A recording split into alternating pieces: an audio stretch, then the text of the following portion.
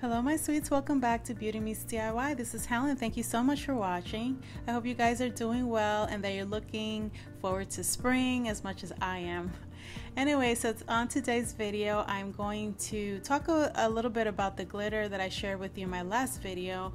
So coming right up, as you can see, I have shared with you um, my Gold Luxe edition and my crushed diamonds the gold and silver. I do want to point something out though. These glass containers are only for video purposes just to show the glitter. Uh, they are four ounces and what I do is that I fill them up and then I place the four ounce worth of glitter inside a pouch and so the actual glitter comes in a pouch. If you guys are interested um, my email is right here on screen so that you can order. So today, for the first time, I'm giving you a sneak peek of my Rose Gold Luxe uh, Glitter and my Champagne Blush. So the one on the left is the Rose Gold and the one on the right is Champagne Blush. So for today's DIY, I'm going to be using a 16 by 20 canvas and I picked this up at Ross and that's usually where I get it. If I don't go to Michaels, I go there and I get it for a good price. So here I have some white acrylic paint and I'm mixing in some fine white glitter and I'm only going to paint half of my canvas and you're going to see why coming up. The inspiration for my DIY is these lovely girls right here. As you can see, they come in different colors so you can create any color that you want. So basically what I'm doing here is that I'm going to find the center point of the top of my canvas and that's where I'm going to attempt to draw my line. Um, I didn't really do a good job at this at first. Um, I really wanted to follow the curve of her hair but I really didn't do a good job mimicking. But one thing is that I am using a pencil and I do recommend that you do the same because if you make a mistake you can easily erase it and do it again. As far as her lips, we're gonna find the center point of the side of your canvas as I'm showing you here and that's going to give you a good idea as to where you want to uh, draw her lips. See that curve right there? I'm kind of mimicking the picture, my inspiration picture and that's where I'm going to go ahead and try to mimic her, um, her lips.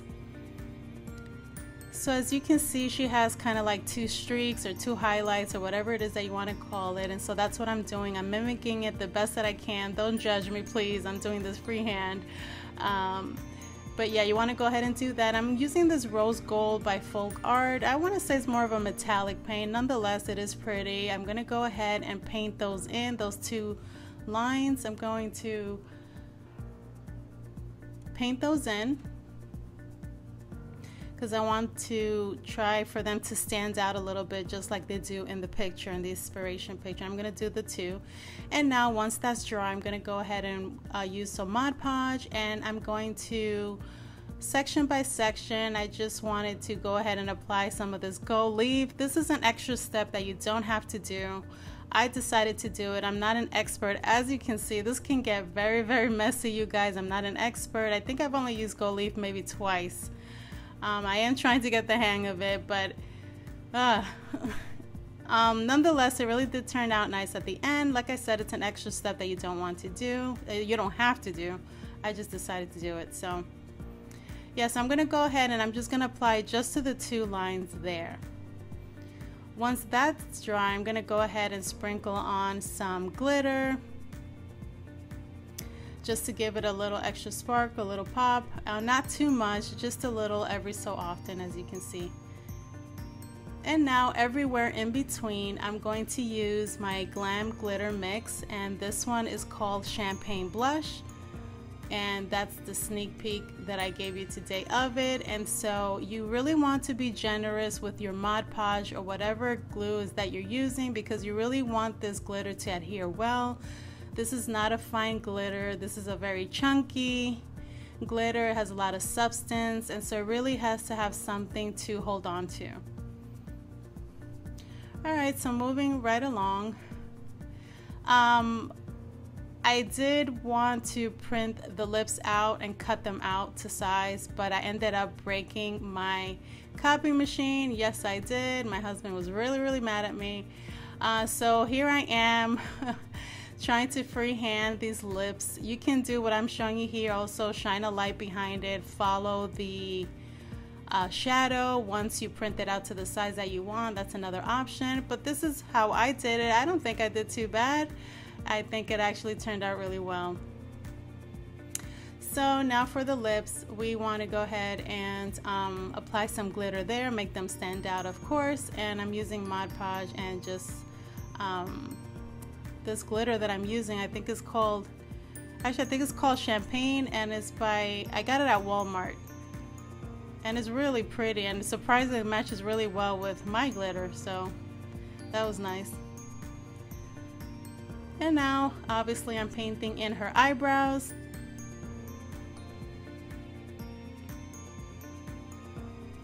So you guys help me come up with a name for her. Um, I've done quite a few girls so far. One of them is Jalen, my daughter. The first one was Louisa. What should we call her? Help me come up with a name. Comment down below and let's decide what we should call this glam girl over here. If not, you can always call her Helen. I don't mind looking glam at all. So you can call her Helen if you can't come up with a name. But here I am, I'm freehanding these uh, lashes. I don't know what I'm doing. I'm just, you know, trying my best. One thing you can do is you find some fake lashes. That would look awesome. I didn't have any at home, um, but that would look beautiful if you can apply some nice chunky uh, fake lashes to her. It will really, really make it pop. And off camera, I'm gonna go ahead and darken them up later on. In the meantime, we're gonna do her eyelid. I just took some pink and some of that kind of goldish glitter I had laying around and I'm just doing her eyelids. And that's about it. And at the end, you want to go ahead and seal her. Um, this is how she turned out. Oh my God. She turned out gorgeous. Uh, I do recommend that once she's fully dry that you seal her with either Elmer's clear glue, love that one, or some resin. Or if you want some Mod Podge, I'm not a fan of the Mod Podge because with this glitter, it's so pretty. You won't, you don't want to cloud it out. You really want it to shine just the way it is here. And I just love the way that she turned out. I really want to take this opportunity to thank each and every one of you who have ordered the glitter and have loved it as much as I do. I really put a lot of work into it. I wanted you to love it as much as I do, and so I'm so glad that you guys have ordered it. And thank you so much for supporting my small business. Um, I really couldn't do this without you guys. So, yeah, let me know your thoughts about the glitter. Let me know what you think about it. I really want to hear from you guys. And if you are going to recreate her, let me know what color theme you are going to go with. Uh, I just want to mention that the printout for these girls, I'm going to leave it down in the link below. So if you guys want to print it out and use it, I'm going to go ahead and leave it for you guys um, down in the description box. And of course, my email is also going to be there in case you guys want to order. So the new addition again is the gold the Rose Gold Luxe, and the Champagne Blush. Thank you so much for watching, you guys, and I'll see you on the next one. Give me a thumbs up. Bye.